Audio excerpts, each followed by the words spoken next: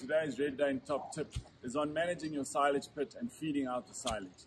We have done a video before on making silage and obviously if you haven't made it properly, uh, you, you, you're going to have a lot of problems when it comes to the stage. So this is a fairly typical Zimbabwean style pit with earth sides um, and which which is wasteful. You'd rather want to put some uh, plastic lining on the on the sides so you don't get dirt mixing in there. But what is a big improvement on, on this pit is the fact that uh, we use a high quality Silostop plastic. And what that what that ensures is that the silage right from right from the top is usable and edible. There's no mold and no losses up at the top here. So so so what we've done is we've used this special silage plastic together with a, um, a shade, a very thick shade cloth that goes over and protects that on top. Um, you can use a thinner uh, Silostop plastic, but we, we use this rather thicker one because in Africa you tend to have chickens and animals and things and coming and making holes. Any hole wherever there be a hole, you'll have a huge area of rot and therefore a, a, a lot of loss. So this is very important. Also that when the guys are, uh, as you can see here, they've cut a very straight edge. Um, that's very, very important. If you if you have a rough edge, there's much more rotting going on because you, you're now exposing the silage to oxygen. So remember, silage is an anaerobic, uh, or ensiling is an, an anaerobic process. So we need to keep the oxygen out.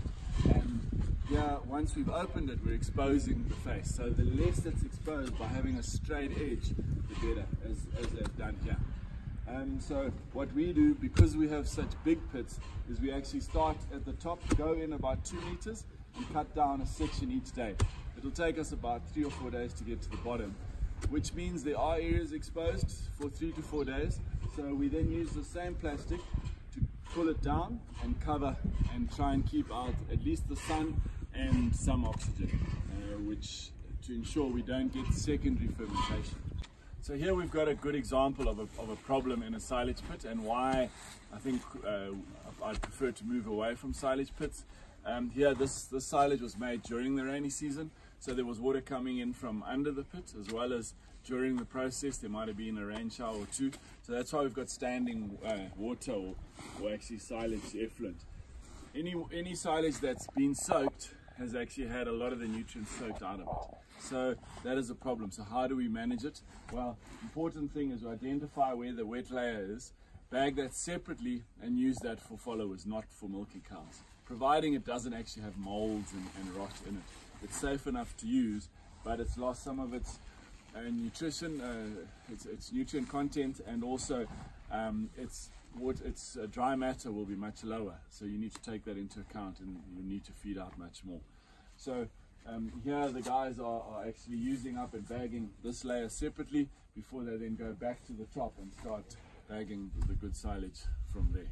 Whenever bagging out silage, the, the people that are doing it need to be aware of some basics. So they obviously we train our guys to look for any molds and any dirt and, and try and keep dirt out. Remember any sand in it. I'm sure if you've ever taken a mouthful of something with sand in, you didn't enjoy it, neither do cows. So it's really important that we, we, we separate that so the guys know if they get some dirt in it, they, they separate it and particularly looking out for mold. Another thing that's vital is, is feeling the temperature of the silage. This silage, uh, we used an inoculant and it's, it's actually freezing cold to the touch. Um, whereas in the, in the, in the upper layers, whereas down here, there we've got a bit too much water, it's actually slightly warm. So that means that it's it's it's still going through the ensiling process or it's actually rotting. So you're going to have much higher levels of mycotoxins where it's warm. We want cold silage. That's the proof that the ensiling process is finished and that we're actually making silage, not compost.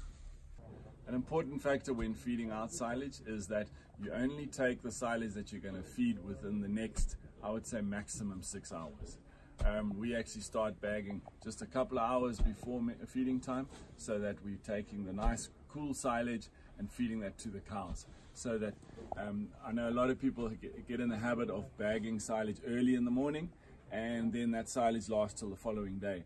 The, the, the silage that's left in the bags till the next day or even worse in a heap will be exposed to oxygen, and if you feel that silage in the morning, it's actually warm. So uh, it's just a couple of hours before at, the, at best and check at feeding time and when the, the silage is going in the bunk that it's still cool.